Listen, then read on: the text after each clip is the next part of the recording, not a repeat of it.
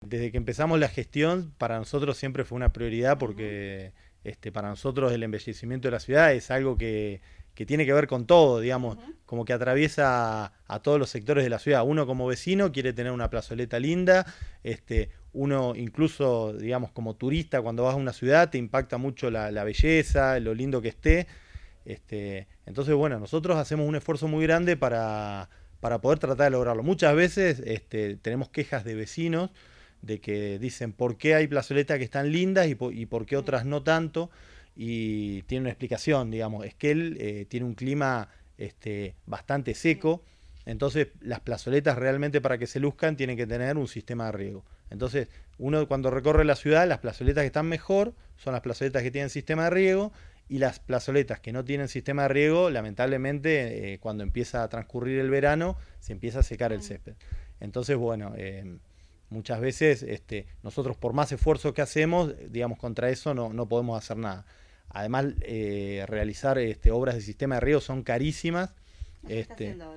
no, no, sí, se están, se están ampliando algunas y ahora justamente llegan fondos, bueno, de lo que es el endeudamiento de provincia, que estaba planificado este, realizar este, varias, varias obras de sistemas de riego, que son, bueno, son obras este, muy costosas y obras que llevan eh, mucho tiempo, porque, digamos, y también que son muy molestas para los vecinos porque, digamos, este, hay que hacer cortes de calle, este, hay que, em, digamos, levantar muchas veces la vereda porque este, todo lo que es el sistema de, de caños, digamos, va todo subterráneo, así que, bueno, este, muchas veces son, son obras, digamos, que llevan tiempo y mucha inversión.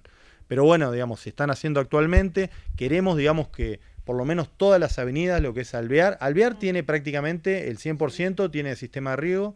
Este, Ameguino, este año pusimos en funcionamiento las ocho cuadras de, que están en el inicio de, de la ciudad, o sea, de Guido Hispano a Perón. Y bueno, tenemos ahí un pedazo que es desde Perón hasta Fontana, que bueno, que eso se va a empezar este, dentro de poquito a, realizar el sistema de riego. Pero bueno, la idea es tratar de tener la, mayor eh, parte de la ciudad cubierta con sistemas de riego, por lo menos las avenidas, este, pero bueno, también hay que entender que son obras costosas y que llevan mucho tiempo. Muchas veces nosotros lo, lo que vemos y que, y que, sufrimos todos como vecinos es el tema del vandalismo. Eh, te voy a dar un ejemplo. Nosotros hicimos ahora una plantación en la Z, este, en lo que es la zona de mm, este, de la playa, donde están los guardavidas actualmente, y plantamos 20 árboles, digamos, de manera ornamental, y ya fuimos hace poquito y ya vimos que varios los habían roto, este, los habían quebrado, los habían sustraído. Así que bueno, digamos. Pasa en las plazoletas. Las plazoletas, pasa con, las vecinas que por ahí nos vienen a ver o los vecinos que, que quieren cuidar el jardín y, y dicen que bueno que ponen maceteros o ponen flores y bueno y, eh, sufren el robo. Pero bueno o sea yo creo que contra esas cosas no se puede hacer mucho porque digamos es parte de, de, algo que tenemos que corregir como este como ciudadanos digamos como sociedad. Pero bueno nosotros no, no vamos a bajar los brazos y la, idea es tratar de, de, siempre eh, poder trabajar en eso